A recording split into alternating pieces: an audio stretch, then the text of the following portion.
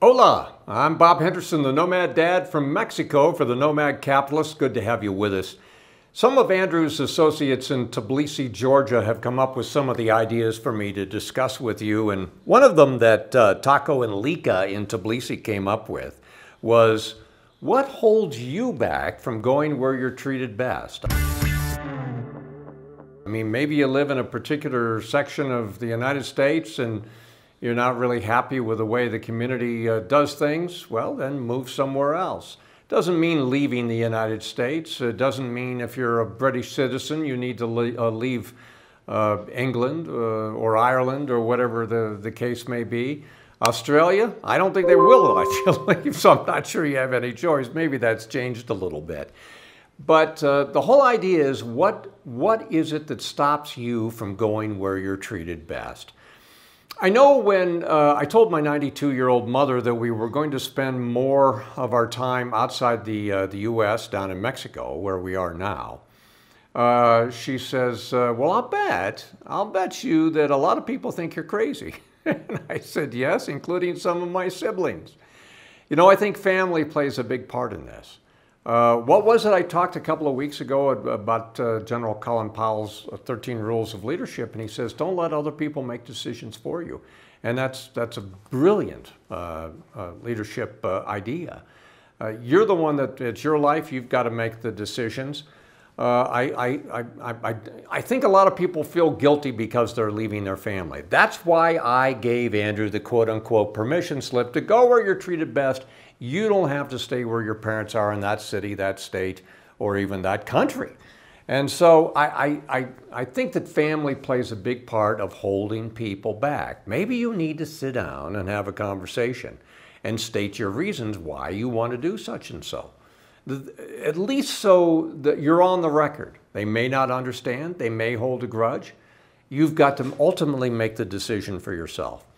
You know, I know that the human condition is this. A lot of times we're more concerned with losing than we are with what we might gain. And I think that there's a big part of a fear of losing. There's a fear of the unknown, and I'm partially guilty of that too. Uh, I know Andrew's done a much better job than, than I have in terms of being really aggressive and going after it and, and taking a big chance. Uh, and it is. I mean, it's uh, you want to use some kind of a metaphor. It's like jumping in the deep end of the pool. I mean, if you totally gave up your citizenship, that would be jumping in uh, the deep end of the ocean, I suppose. But if we're just looking at pools, the way I look at it right now is we're past the, you know, the kiddie pool and the shallow end, and maybe we're moving a little bit toward the deep end of the pool, but we're not still fully there. I'm telling you, uh, to to partially move to another country, uh, there are I'm telling you firsthand, there is some stress involved. Things are different. Uh, Mexico, uh, you know, you've heard all the stories. People here, by and large, are wonderful. Uh, the little town that we're in is uh, delightful, uh, but it's it's different, and it's you know you have to get used to a different culture, different way of doing things. Uh, people don't necessarily have the same work ethic that you're used to.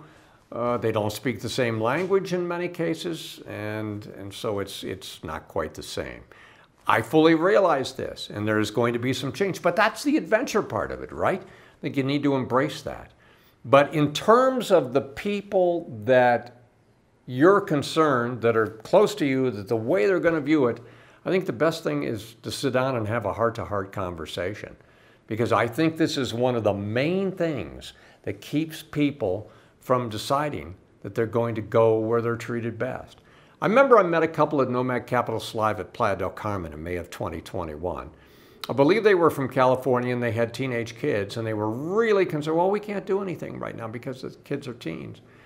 And I understand that. I fully understand that, uh, especially as teenagers. But you know what? If you sat down with those kids and say, what would you think of us going on an adventure? Maybe to another country part of the year, and you learning at a school in wherever it might be. Maybe they'll put up a big argument, and, and that won't be such a thing, but you kind of talk it through. Maybe, maybe you'll be surprised and you'll find, yeah, mom, I can't stand where I go to school now, or I don't like this about the, the, the town, or whatever. Let's do it. You never know. I think communication, open communication, because the family is extremely important. And, and that's, that's the sort of thing that I think really has to be out in the open. Uh, and maybe it's more than one conversation. So I think those are some of the things really holding people back. And of course, the fear of the unknown.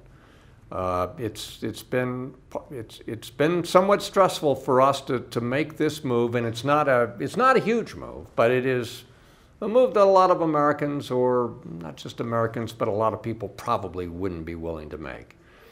I'm Bob Henderson. So glad you stopped by. Love to see your comments you leave below. I'm the Nomad Dad for the Nomad Capitalist.